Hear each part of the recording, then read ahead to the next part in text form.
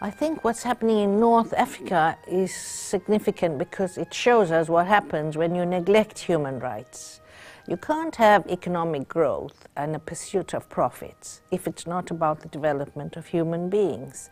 Therefore, any economic policy must be must address the concerns of people and must be not imposed on them but developed together with people um, the exploitation of natural resources, macroeconomic policies across the world is impo impoverishing the poor all over the world in the developing countries, and that's what they say.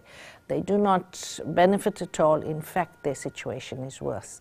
That's what North Africa is pointing to us. Fortunately, ordinary people rose up to express this and we have to ensure then that there is delivery, that whatever policies, laws, and um, international agreements are entered into, that they respond to these concerns of the people.